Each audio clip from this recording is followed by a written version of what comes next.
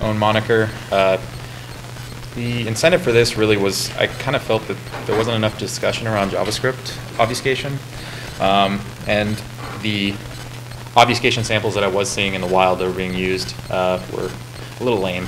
Could have been improved. So, uh, so basically, I'm going to go over. Um, oh, hey, I have a microphone. And I apologize for the interruptions for anyone who's watching a recording. Is this live streaming or no? Cool, that's better. Makes me feel better.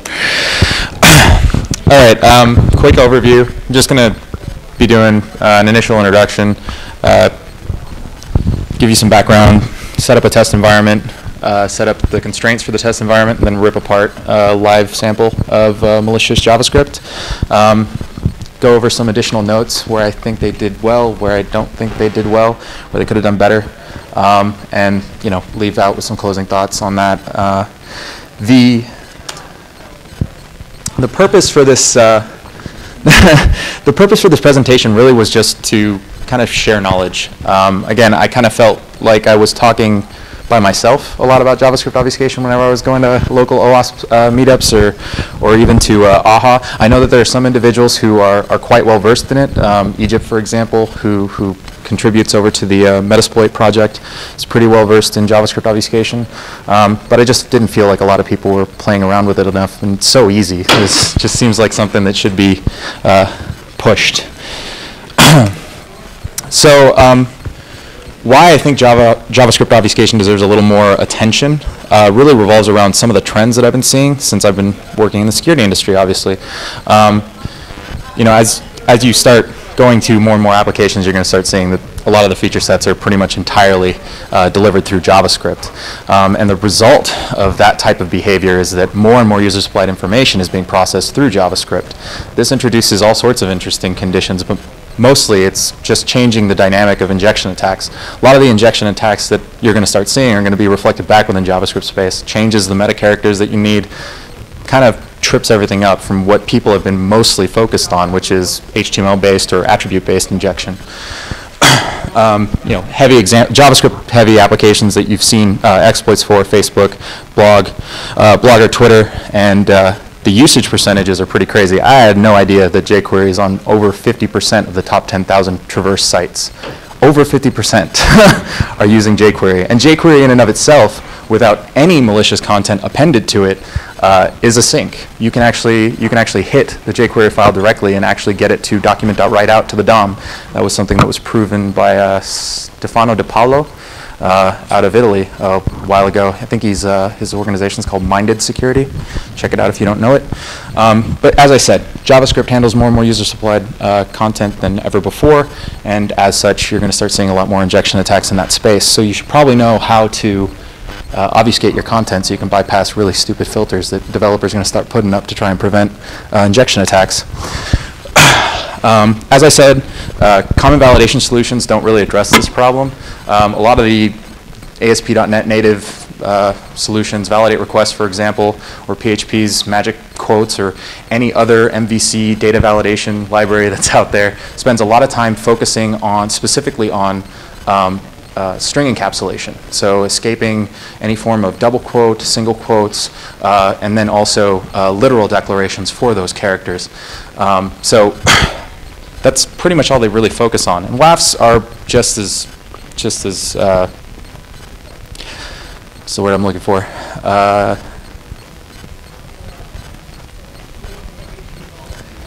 if I only had a brain.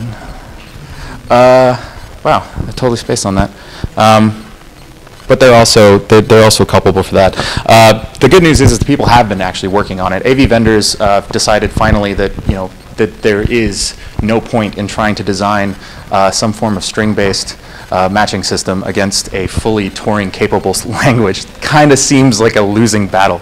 Um, so they started uh, triggering off of the actual events uh, from the JavaScript execution uh, stack itself um, and using that as an exception condition to trigger if it sees any form of uh, write-outs to the DOM or modifications of the DOM to, a, to a, what it considers a, a domain that's not on a, an accepted whitelist, which is a lot easier solution, right?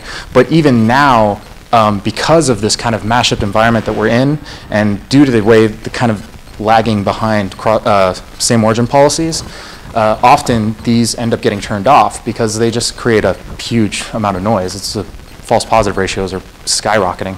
Um, so most people don't even pay attention to the fact that their AV says, oh, by the way, JavaScript's doing some weird stuff. Um, and, and so we're back to square one.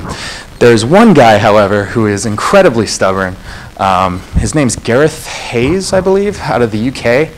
Uh, he has a website called uh, thespanner.co.uk. He himself is a security services provider, and he has been heading up a project called JS Reg, which is essentially a heuristics regex library to directly take on uh, JavaScript obfuscation and trying to address it through uh, string-based matching, which to me seems insane, but he's done a pretty good job at it. That is a bar, which is better than no bar. um, so obfuscation most of you guys, I'm assuming, have already had experience with obfuscation. You already know what it is. Um, and in most cases, a lot of people that, uh, for me, for example, I, I, treat it as a, as a hobby. It's a puzzle. It's for fun, right? Identifying new and unique conditions in which you are able to uh, execute the exact same behavior you could write in, uh, you know, five characters is, is kind of fun.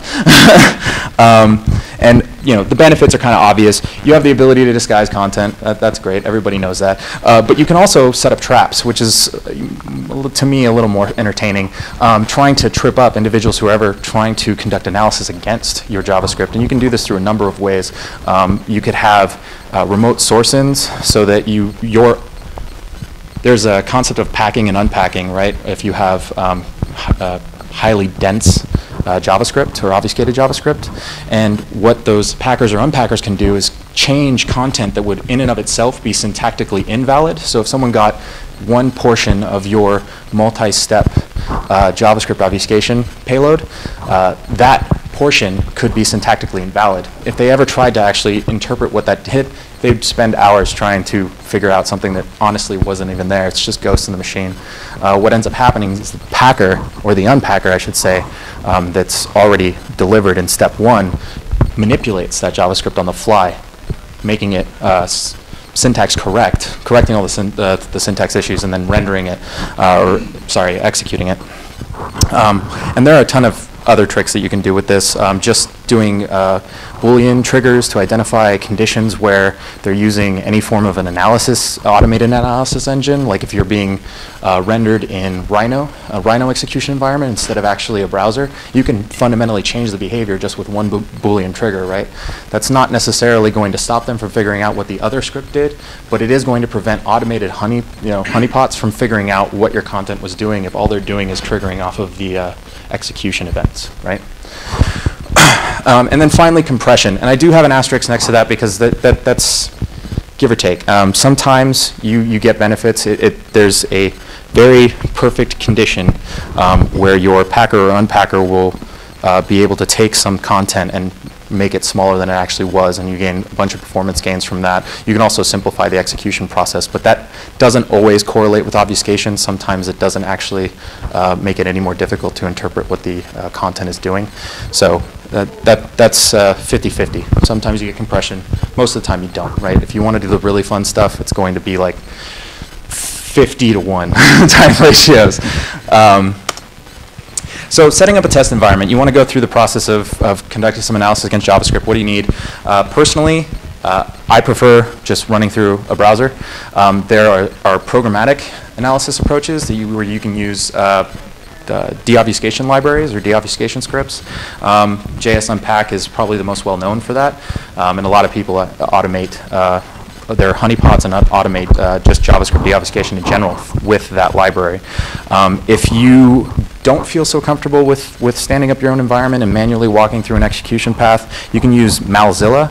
That project hasn't been supported since 2008, so go, go at it at your own risk, but at least everything is self-contained within a single interface. Um, you're able to walk the uh, HTTP request responses in conditions where it's a multi-step uh, execution flow.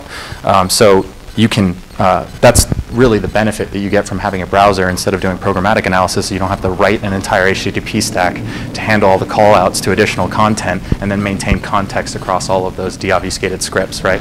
Because programmatically, that's a pain in the ass. But if you're doing it manually, pretty easy. um, The only problem is manually, you can't do it in mass. Um, but for this case, for the examples, uh, we have Firefox 3.6.23, 32, 23, I think that's right. Uh, 3.6 is my favorite. I, I know there's like 14 billion versions of Firefox now, and frankly, I don't care enough about HTML5 to start using it as my main browser. Um, that doesn't mean I don't have it installed and testing in it, but I, I prefer to uh, stay on the stable workhorse. Uh, plugins, these versions correlate with the version of Firefox that I'm running. There are newer versions of these plugins, but they only apply to newer versions of Firefox. Um, but Web Developer Toolbar, Firebug, uh, User Agent Switcher, and then I wrap everything under Sandboxy. And Sandboxy is beneficial if you ever actually intend on pulling down the actual malicious content and you don't want it to just execute on the fly and if it happens to actually target your Firefox environment, might not be so good. And that's just one layer of protection, right? If you're messing with malware, you know, normally they say don't double wrap. This time you definitely want to.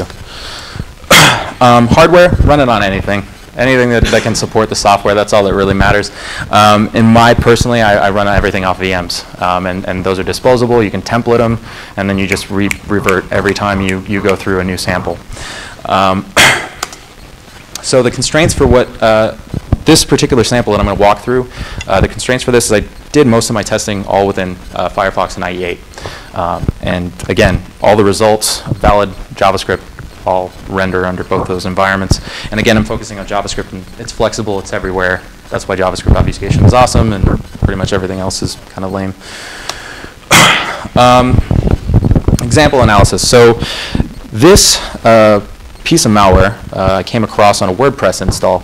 It could have gotten there through an automated script that came by and did an auto exploit and changed a file. It could have gotten there manually. I don't know. All I know is that this job, this jQuery file definitely was not a normal jQuery file. Um, it had all the characteristics of 1.4.2 uh, except it had a huge block of appended JavaScript at the end of it.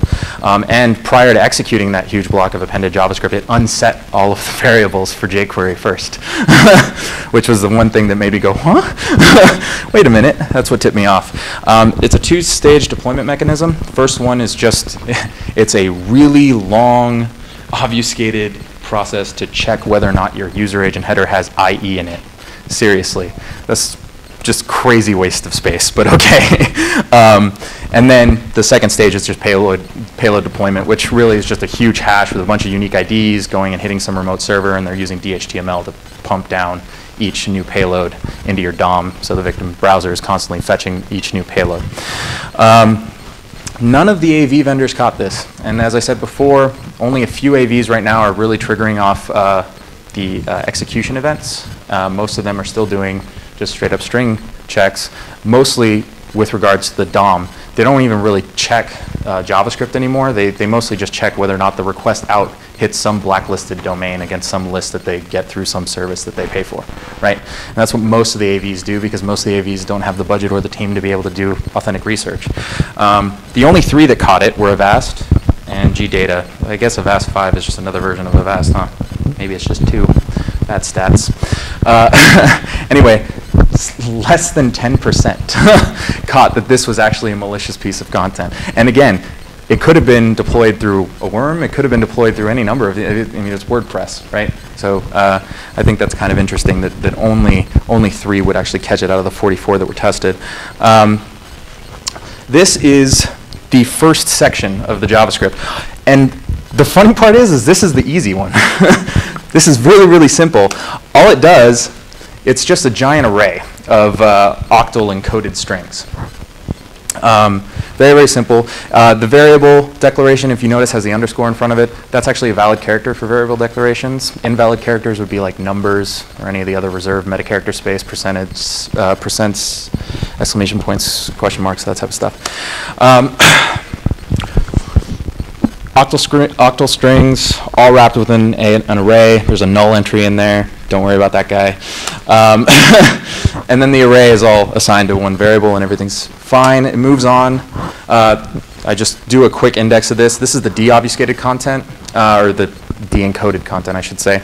Um, the only two uh, uh, indexes of this array that matter are, uh, did I skip a slide? We're going to go forward and then back. Uh, the only two uh, indexes of this array that matter are the uh, or first and the fourth, sorry, indexes. The first one is actually the, the evaluated content. That is the JavaScript that'll run, but it's all compressed. It's just a bunch of representative values. None of it's been populated yet. Um, the fourth one is a just a giant hash. And eventually what happens is the unpacker goes and just does a split off that and creates an array out of it, right? And the, delimita- the delineator is pretty clear. It's, it's a pipe. um, oh, one of the things that I would note that they could have done better, which I kind of surprised that none of the AVs caught this, because if the AVs were doing just basic all they had to do was just um, unencode the octal representation, right? An octal's pretty obvious. You see it slash x, two characters slash x, two digits slash x. Um, but they didn't. Uh, so, but what they do have is pretty heavy, what I call weighted keywords, uh, document, element. These are the types of things that are going to trigger really, really rudimentary uh, uh malicious JavaScript like filters.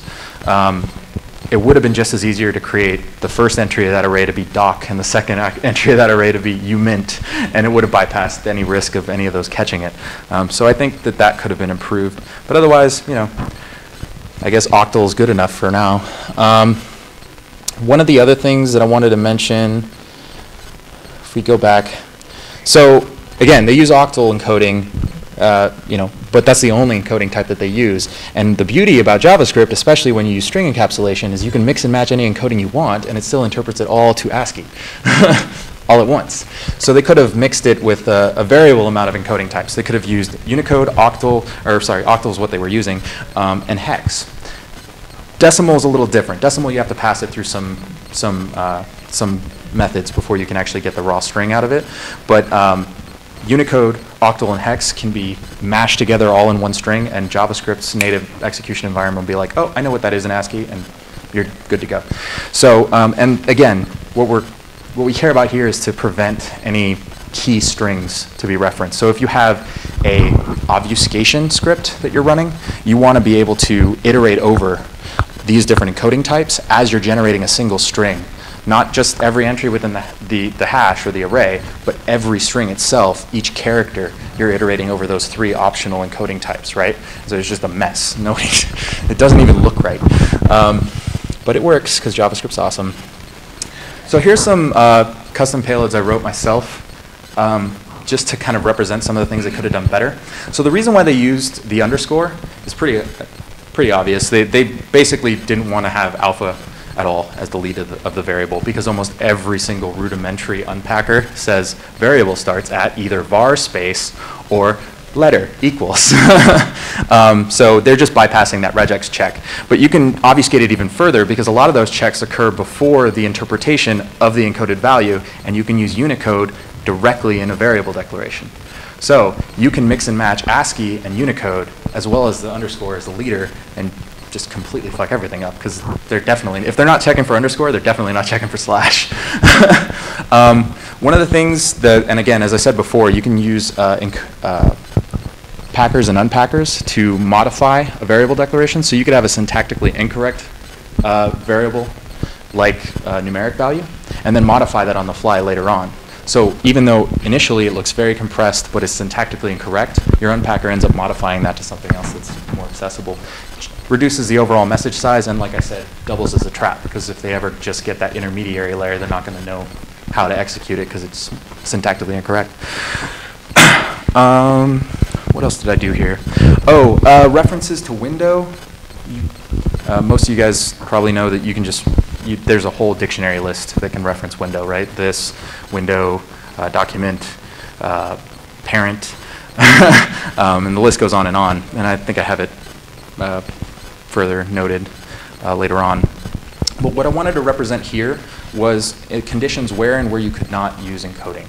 Um, so uh, octal encoding, uh, uh, the hex encoding need to be encapsulated within a string. You can't literally, you can't declare them literally within uh, the the either a variable declaration or open unencapsulated because the characters that they use um, to represent the encoding type causes a syntax error. It in and of itself has significance for other things, uh, like mathematical calculations or uh, regex matches. So um, octal and hex are limited in this way, but it's also context driven, right? Because you can use hex encoding if you're going to pass it through a URL first, so you can use it for things like a JavaScript directive, right? So you can do document.location equals you know, string JavaScript colon, and you can use hex encoding there and clear without any encapsulation. But that, again, it's context dependent. Play with it. It gets pretty easy after a while. Uh, so yeah, this is just me, uh, yeah, uh, just playing around with, with uh, different encoding types and, and how you can bind those to default objects, right? The default object being the alert, right? And I'm binding that to several variables, and then I'm iterating over that several times, and just throwing it all over the place, right? Um, which is another thing that I think this piece of JavaScript I'll get into later doesn't really do very well. They don't hide what they're trying to do. They kind of assume you're not going to get past the, the uh, recursion or the unpacking, and so they never really try to, to obfuscate what default objects they attempt to reference. Uh, how are we on time?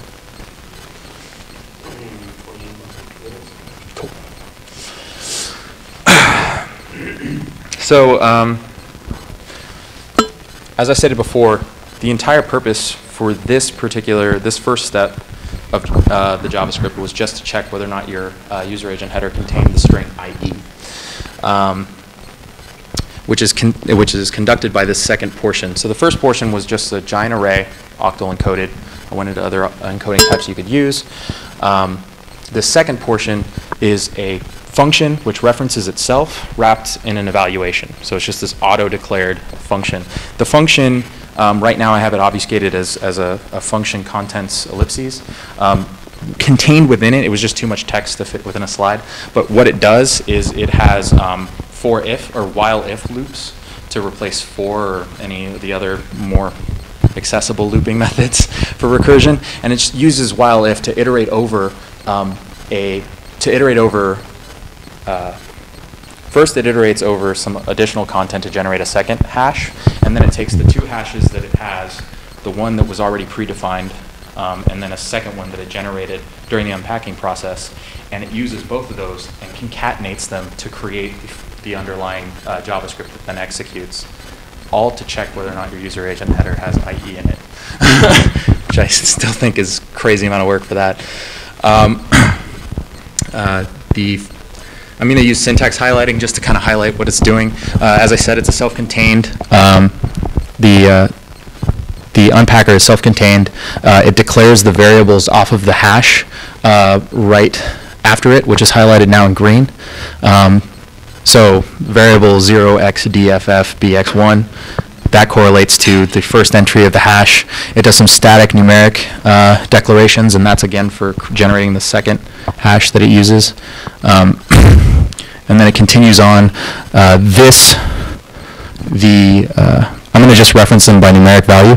The variable 4, uh, 0xdffbx4, uh, that's the second array. That's what gets generated within the unpacker. Um, and then the uh, 0xdffbx6 is the object literal which references the prior hash, the prior hash split.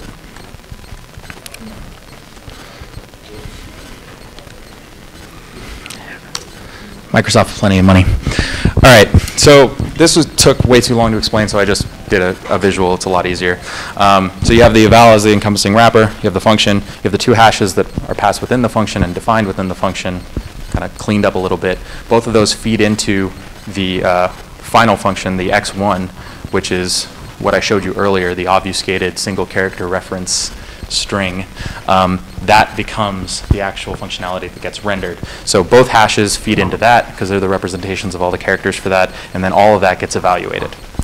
And now they can check whether or not you have fucking IE in your user agent header. That was what all of that was for.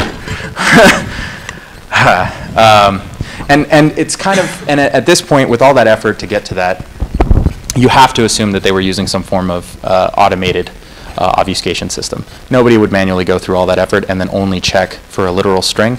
Um, so this is uh, programmatically generated, and I have other evidence of other uh, JavaScript samples that function fundamentally similar with very similar variable declaration styles um, that indicate to me that it is programmatically generated, but it uses slightly different obfuscation methods each time. But I don't have enough time to go through every single one of them. Um, some things they could have done better.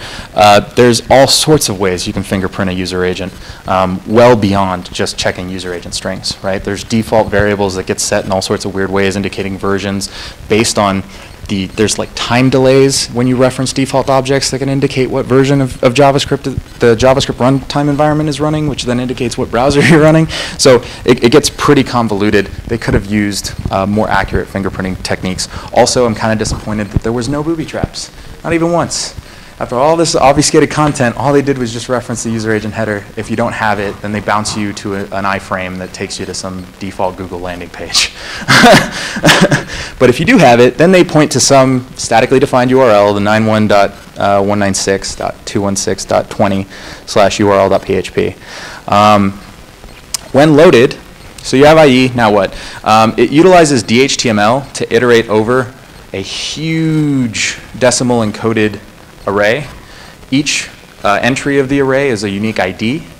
That unique ID gets appended to a URL, and then DHTML printed out to the DOM so that your browser goes and pulls down each one of these unique payloads. It's essentially a shotgun. If, if you have IE, I'm going to try everything I know, and hopefully one of those will exploit you. And if it does, sweet, I got a new bot. If it didn't, eh, then it uh, has a uh, meta refresh in 30 milliseconds. so apparently these ODAs work fast. Um, but the meta refresh bounces you to some uh, non or benign page that actually generates click revenue for them. Clever little RBNs. Um, if, if, they can't get a bot out of you, they'll, they'll get a clicks out of you, and they'll make money anyway. Uh, let's see, what else do I have here? Oh, um, so again, going back over some of the things they did and didn't do, uh, they didn't do order of operations type uh, techniques, which I found kind of lame. Order of operations is awesome because you can use, uh, again, bitwise operators logic, you can use arithmetic, and in doing those in line uh, forces JavaScript to change the method in which it's interpreting data, resulting in functions that normally would not be uh, evaluated first, would instead be considered part of a string, uh, evaluated prior. So you can nest representations of data in ways that is on surface value seems syntactically incorrect unless you understand the concepts of order, order, uh, uh, order of operations and included that within your deobfuscator or whatever programmatic analysis engine that you've created, right? So order of operations is very, very useful. Also very useful for things like if you're doing uh, injection into JavaScript space, but you can't use parenthetics or anything to escape out of some larger encapsulation. You just need a string escape, order of operations, and it doesn't matter if everything else is syntactically incorrect after that. It executed your JavaScript first, because, you know, that's awesome. um, cross-site scripting is awesome. Some of the other things they didn't do, they didn't take advantage of all the other ways you could define strings. They, they just do string literal every time. They programmatically generated some unique string, they made that your variable, and then they that equals something else.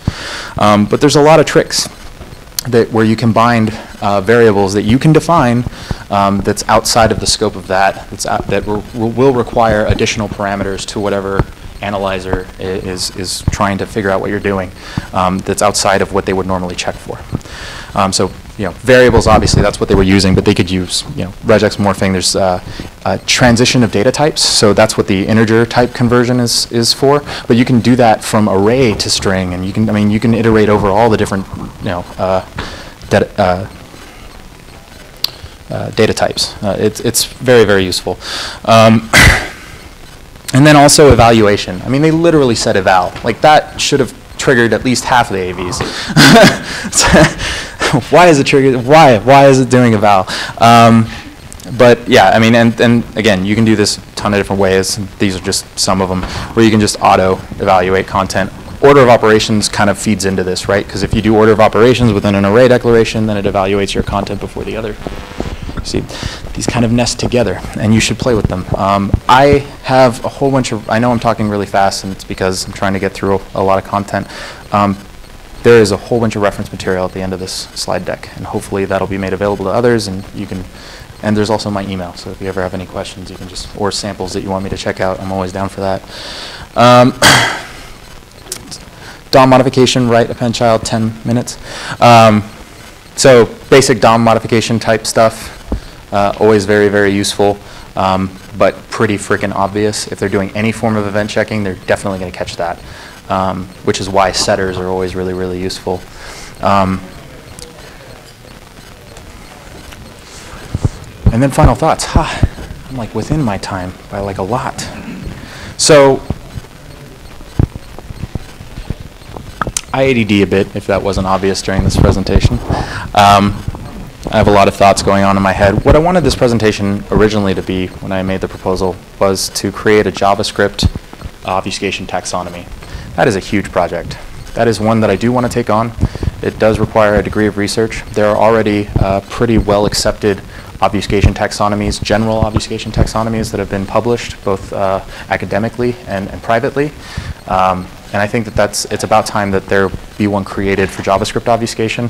The, the JavaScript standard in and of itself has stabilized to the point where, and a lot of the execution environments have kind of come in line, where creating a taxonomy doesn't seem like too of an impossible feat. Um, and it would also standardize communication across a lot of these groups.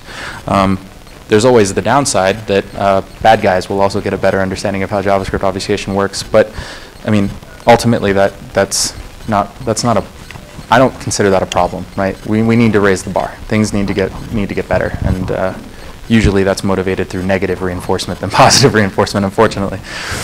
Um, other things to check out. I didn't cover EX4 in this presentation at all, and that's primarily because it's a totally different beast. Um, involving all sorts of different data representations, and it's basically the standard that applies to uh, JavaScript within XML space. But all current rendering environments also support that standard uh, within the browser, which means you can reference it within normal DOMs and it just access a totally different uh, execution environment. Um, so cool stuff.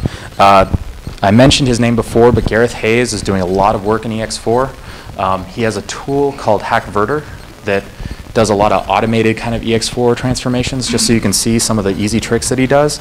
But um, you know, there's still a lot of research to be done there. If you're looking for a place to kind of further the bar for JavaScript obfuscation, EX4 and the ECMA standard uh, 357, that's pretty much what you want to read. Um,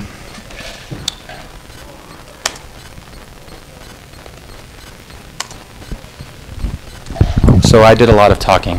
Do you have any questions?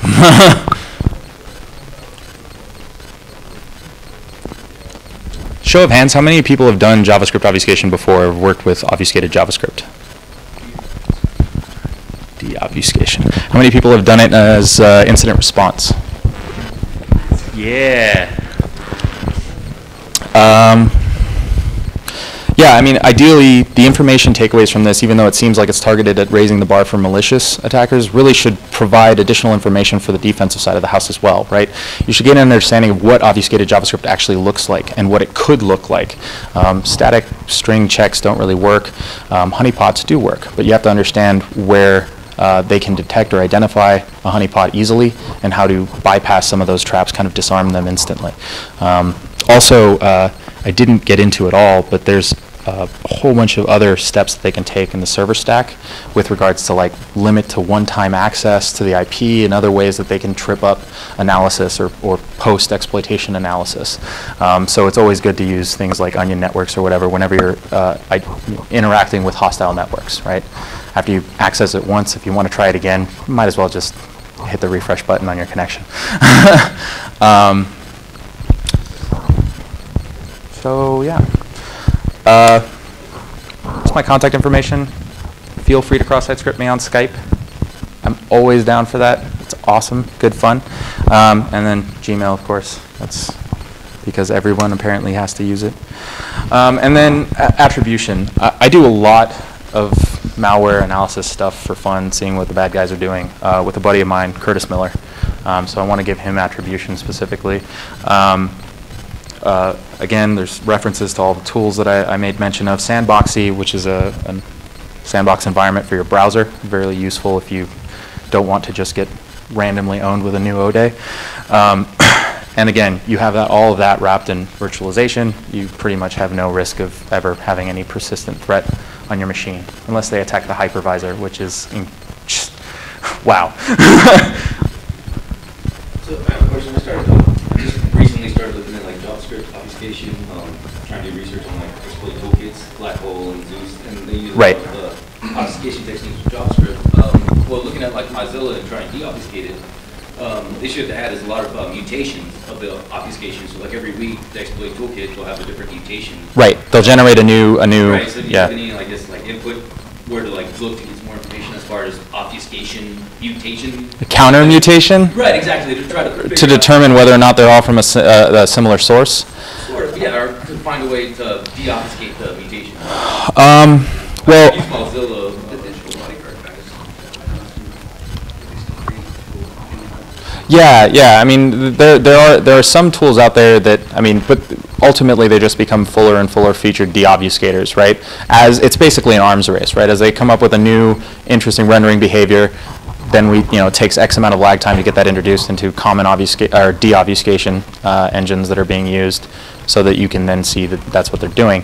Um, that's where the manual or the human aspect comes into it a lot. It really is a manual problem to solve, unfortunately. I, I think that, you know, unless you want to take Otis on yourself to uh, improve your own automated deobfuscator, you're really at the whim of, of whenever they update the libraries. So you end up having to just do it manually, which isn't that hard. I mean, just, you know, stand up an environment, you play with it. But yeah, if you're doing it across 15, 30, you know, 100, that gets kind of tedious. Ideally, um, normally, in the way that I've seen those systems run in the past, there's other signatures that indicate to you whether or not they're a similar kit, even if it's not the same group that's generating it. Like things, uh, one of the things I didn't mention uh, that's actually a problem with this JavaScript obfuscation sample um, is that all of the variables that were being declared not only were a fixed length, but we're also relatively low uh, entropy per character, right?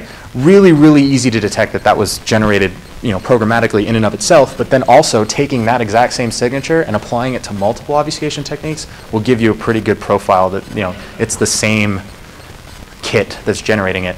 Not the same person, but at least the same kit. Any other questions? Um, slackers.org has a ton of people on there. That I love slackers.org. You should probably check it out. Uh, Gareth Heyes, Kuza55, sirdarckcat. There's a bunch of guys who have done recent talks on HTML5 and various other obfuscation techniques who, who participate on there. Um, there's regular competitions for, uh, you know, obfuscation competitions and things like that. How to how to create the smallest uh, executable payload. So I think Victor was like six characters or seven characters is the, the least amount of characters you need. Um, and also other tricks like non-alphanumeric. Um, there's a, it's not in this version, but uh, there, there is a method in which you can uh, force default strings to return. So you create a logical statement, right? And it's either true or false or undefined or, or uh, infinite, right? And that forces, there's just based on default behavior, the JavaScript rendering environment returns that string to you. So now you have a reference to that string. You have a reference to text created purely out of meta characters, no ASCII at all, or well, no uh, alpha at all, right? Alpha num. And then you can count on that returned string, and you can pull out the letters that you need to build your overall JavaScript payload, concatenate that, and then evaluate it all with like a total of six different meta characters, but a, a relatively long string length to, to count out each one. Um, it's, it's called default string enumeration. It's pretty cool stuff. Not practical at all. I mean, when you see it, you, you know exactly what it is, but uh, it's pretty fun if you ever want to just play around with it. Speaking of that, you mentioned HTML5, I just had an interesting idea. I don't know uh, if there's anybody doing research, but it'd be kind of cool to use HTML5 and like web workers and do uh, threaded JavaScript obfuscation. Where you have like parent and child and you have it obfuscated within a thread on JavaScript. That would be really hard to try to debug. Um, some of the coolest, uh, like nested threading or iterations over over object trees that I've seen actually came out of uh, uh, what's his name, Zalewski, out of Google. His uh, his, you remember the name of that thing that he had running? wasn't wasn't Skipfish. He wrote Skipfish, but he wrote something before that that was doing a whole bunch of. Uh, he was just basically trying to find crash conditions in the JavaScript engine, but you can take his exact same JavaScript, the way he dynamically just recursively iterates over entire object, like generating the object model and then iterating over the object model. You can do that same, he also used web, web workers for that, to kind of, imp- you know, implement threading to kind of speed up the process of brute forcing the browser. The only problem with it was that, you know, it was all within a single uh, browser environment. So if he found a crash condition, he lost state across all the rest of the ones that were running. So it, it came it came pretty difficult to kind of establish a true false condition for a crash that he wanted to go investigate further. Um, but it's still really great stuff. If you you know just want to take a look at, at some advanced uses of web workers, check it out. Um, so I think uh, I think I'm done. Uh, is there a questions track or no?